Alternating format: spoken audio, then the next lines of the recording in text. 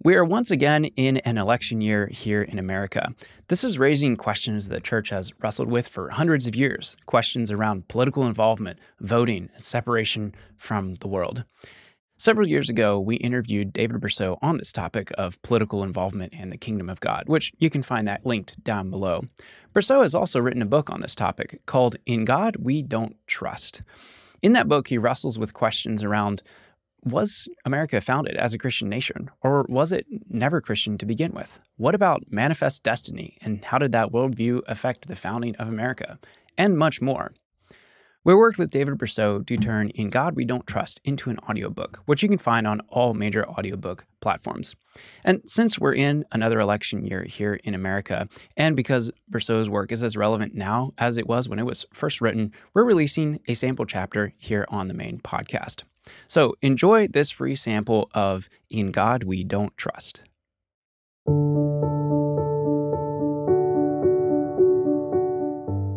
Chapter 5 In Guns We Trust. During America's early colonial period, if a visitor had asked people about the Pilgrims, the colonists wouldn't have known whom he was talking about. That's because back then nobody called these people the Pilgrims, not even the Pilgrims themselves. Rather, writers of that time generally called them separatists or Brownists. In general, separatists were English Calvinists with very similar beliefs and practices as the Puritans. Yet, unlike the Puritans, the separatists believed that true Christians should separate themselves altogether from the Church of England instead of trying to reform it, as the Puritans were trying to do. As a result, in England, both the Anglicans and the Puritans persecuted the separatists. The people we know as the Pilgrims were separatists, but there were other separatist groups as well. Although the people of their day often referred to the Pilgrims as Brownists, that name was actually a misnomer. The name Brownists originally was given to the followers of Robert Browne, a separatist who believed that ministers didn't need to be licensed by the state. In that sense, almost all American Christians today are Brownists. However, the Pilgrims were not Brownists. They believed that baptism and communion could be performed only by state licensed preachers. They themselves were pastored by a state licensed minister. The Pilgrims did allow elders such as William Brewster to teach, but not to administer communion or baptism. Under King James, the Pilgrims sought permission to leave England and go to the Netherlands, where there was religious toleration, but King James denied their request. Nevertheless, in 1608, the pilgrims clandestinely left England and fled to the Netherlands without the king's permission. In the Netherlands, they enjoyed full religious freedom. Most of the pilgrims had been farmers in England, but in the Netherlands, they had to toil long hours in the city, doing whatever work they could find. Even worse, they had to hire out their children to work for others. Discouraged by their economic difficulties and by the pervasive Dutch influence on their children, the Pilgrims voted in 1617 to emigrate to America. It's important to realize that without Jamestown, the Pilgrims probably would never have considered moving to America. But Jamestown had been in existence for 10 years when the Pilgrims decided to come here. By that time, Jamestown was on its feet and turning a handsome profit from tobacco farming. So the Pilgrims knew it was feasible to settle in Virginia and to make a living there. What many Americans don't realize is that the destination of the Pilgrims was Virginia. However, because of storms and navigational problems, they ended up in Massachusetts instead. And once the Pilgrims landed there, they decided to go ahead and stay. And the king decided not to make an issue of it. Myths about the Pilgrims. During our school years, most of us were taught all sorts of myths about the Pilgrims. For example, I was taught in grade school that the Pilgrims came to America because they believed in freedom of religion and the separation of church and state. But none of those things are true. The Pilgrims had already obtained freedom of worship in the Netherlands. Their motive in coming to America wasn't so they could worship freely. Rather, they were seeking better economic conditions and they wanted to raise their children in an English speaking community. Moreover, the Pilgrims didn't come to America because they believed in freedom of religion. They wanted to establish a settlement in which they could worship freely in accordance with their own beliefs but they never intended that other people could move into their settlement and freely practice whatever they happened to believe. In fact, the Pilgrims' settlement at Plymouth passed a law prohibiting Quakers from living there at all. Furthermore, the Pilgrims didn't believe in separation of church and state. From day one, church and state were united at Plymouth Plantation, the Pilgrims' first settlement. A person could be fined or imprisoned there merely for attending a Quaker meeting. The Pilgrims and the Indians. Like the settlers at Jamestown, the Pilgrims wanted to live peacefully beside the local Indians, but they came to America with the same attitude as had the Jamestown settlers. The Pilgrims felt they had a God given right to settle in America, and if the Indians opposed them, they were justified both in defending themselves and in exacting vengeance on the Indians. For this very reason, the Pilgrims hired a military man, Miles Standish, to accompany them to America. Miles Standish had not been a member of the Pilgrims Church in the Netherlands. He was an English professional military officer and adventurer who had fought in the Netherlands, helping the Dutch in their War of Independence. It was in the Netherlands that the Pilgrims met Standish. I remember learning in grade school about the Pilgrims and their friendly relationship with the local Indians. We learned about Samoset and Squanto, without whose help the Pilgrims may not have survived the first two winters. We learned about Chief Massasoit and the Thanksgiving feast the Pilgrims and Indians shared together. Did all of that really happen? Yes, it did, and it is well chronicled in William Bradford's Plymouth Plantation. However, the impression we received in school was that the Pilgrims always had peaceful and equitable relations with the Indians, and that is not correct. The Pilgrims' policy toward the Indians was the same as that of the other English settlers. They wanted good relations with the local Wampanoag Indians, but they didn't believe they needed the Indians' permission to settle on their lands. They entered into a treaty with Chief Massasoit, but their treaty didn't treat the white man and the Indian as equals. For example, if one of the Wampanoags harmed a white man, the tribe had to surrender the offender to the pilgrims for punishment. But if a white man harmed an Indian, the settlers did not have to turn him over to the Indians for punishment. Moreover, the Indians were to come unarmed any time they visited the Plymouth settlement. But no such restriction was put on the Pilgrims when they visited the Wampanoag settlements. The Pilgrims attack the Indians. As more settlers came to Plymouth, some of the new settlers moved out to start a second settlement in Massachusetts. However, they didn't ask the Indians for permission to do so. Although the Indians had cautiously accepted the initial settlement of Plymouth Plantation, they grew concerned at the prospect of Englishmen establishing additional settlements in their territory. One day, word reached Captain Miles Standish that the Indians were planning to attack this second Pilgrim settlement. So Standish led a small army of men from Plymouth to the new settlement, which was surrounded by a stockade. It turned out that there had been no Indian attack at all.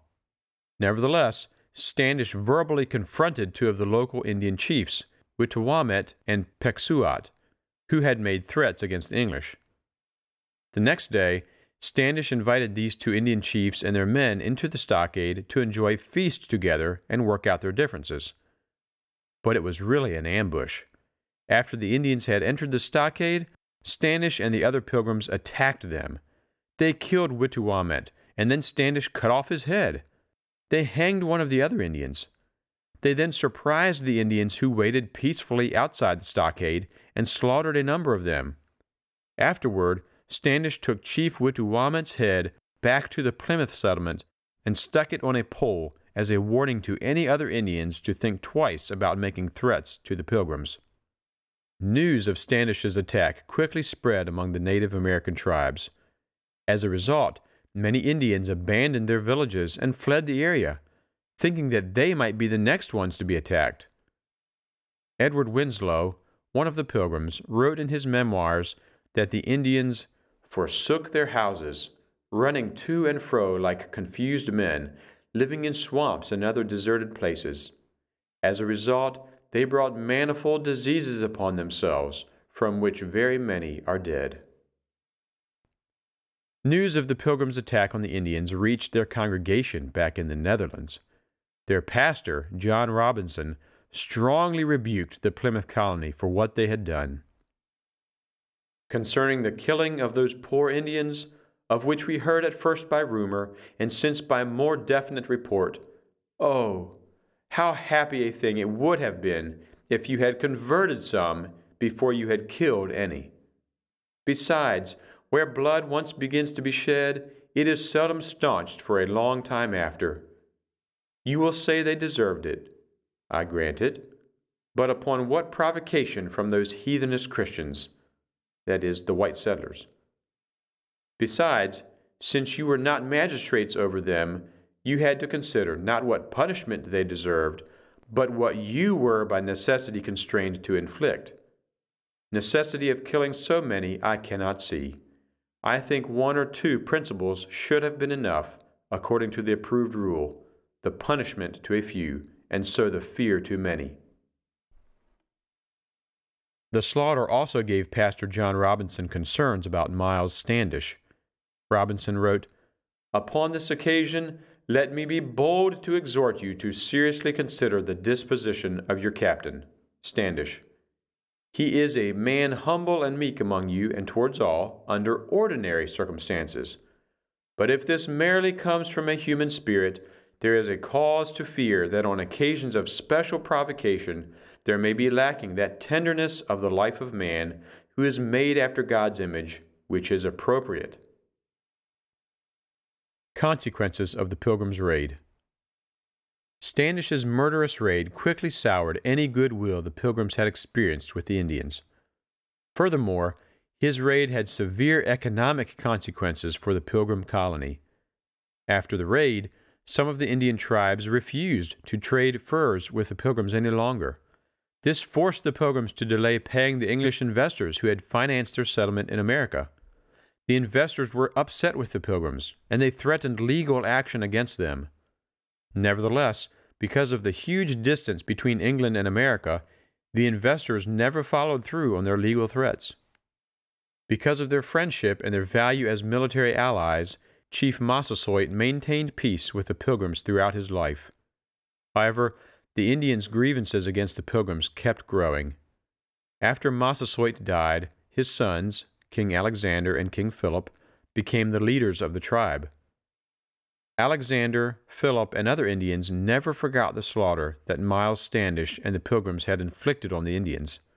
In addition to that, they had a long list of grievances against the Plymouth colony and its sister settlements. Philip eventually met with representatives from the Plymouth colony and voiced these many complaints. One of the Englishmen made a record of the Indian objections. Among their complaints were the following If twenty of the tribe's honest Indians testified that an Englishman had done them wrong, it was treated as nothing. However, if but one of the worst Christianized Indians testified against any Indian or their king, that was sufficient when it pleased the English. Since the chiefs could not read the land deeds they had signed, they unknowingly had signed deeds that conveyed more land than what was orally agreed upon. As a result, some of the chiefs had left their own people with no land to live on. On a number of occasions, the pilgrims got the Indian chiefs drunk and then cheated them in various bargains. The Plymouth settlers didn't fence in their cattle and horses, and so their farm animals destroyed the crops in the Indian villages. The Indians felt the English had the responsibility to make sure their animals stayed on the English settlers' property. The English were so eager to sell the Indians liquors that most of the Indians spent all in drunkenness and then harassed the sober Indians. However, the Pilgrims and other English settlers didn't correct these wrongs.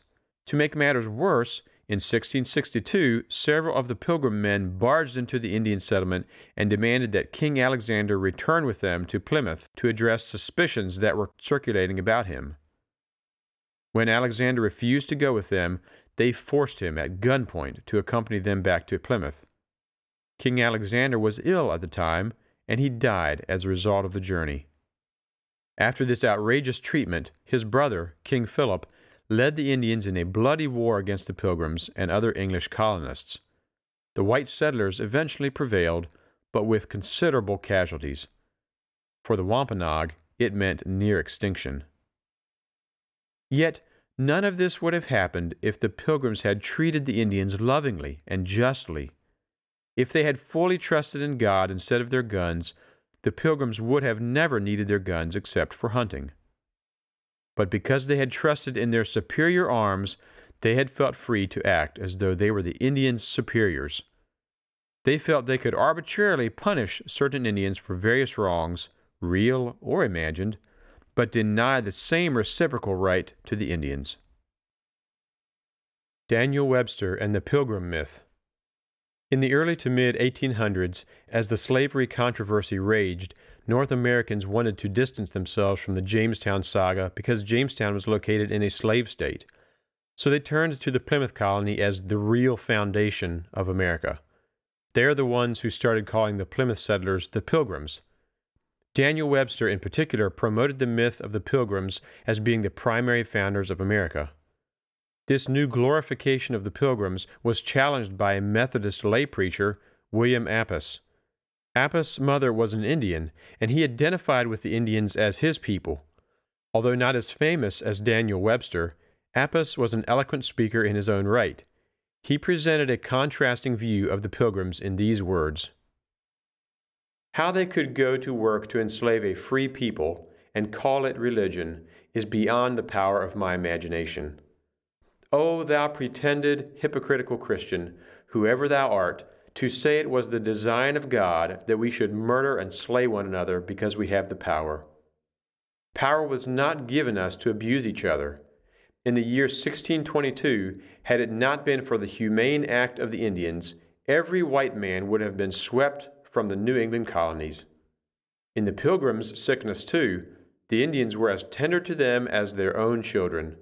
And for all this, they were denounced as savages by those who had received all the acts of kindness they possibly could show them. In December 1620, the Pilgrims landed at Plymouth, and without asking liberty from anyone, they possessed themselves of a portion of the country, built themselves houses, and then made a treaty and commanded the Indians to accept it. If this were done today to white men, it would be called an insult and every white man would be called to go out and act the part of a patriot to defend his country's rights. And if every intruder were butchered, it would be sung upon every hilltop in the Union, would be rung from Georgia to Maine, from the ocean to the lakes, about what fine men and Christians they were in the land. But when a few red children attempt to defend their rights, they are condemned as savages by those, if possible, who have indulged in wrongs more cruel than the Indians. Who could have supposed that the meek and lowly followers of virtue would have taken such methods to rob honest men of the woods? We might suppose that meek Christians had better weapons than cannons, weapons that were not carnal, but mighty through God for the pulling down of strongholds. These are the weapons that modern Christians profess to have. But if the pilgrims did not have them, they ought not to be honored as such. But let us again review their weapons to civilize the nations of this soil. What are they? Rum and powder and ball, together with all the diseases, such as smallpox. Let the children of the pilgrims blush, while the son of the forest drops a tear and groans over the fate of his murdered and departed fathers. He would say to the sons of the pilgrims, Let the day be dark, the 22nd of December, 1622 let it be forgotten in your celebration, in your speeches, and by the burying of the rock that your fathers first put their foot upon. For be it remembered, although the gospel is said to be glad tidings to all people, yet we poor Indians never have found those who brought it as messengers of mercy. In the end, the conduct of the pilgrims led to a blood-stained land. Sadly, their neighbors, the Puritans, drenched the land with even more blood. Thanks for listening to this episode of Anabaptist Perspectives. If you enjoyed this podcast, leave a rating and review on your favorite podcast app. It really does help. You can find all our content on our website at anabaptistperspectives.org and also subscribe to our email newsletter there. And of course, if you want the full audiobook from David Bercot's In God We Don't Trust, you can find that anywhere you get your audiobooks.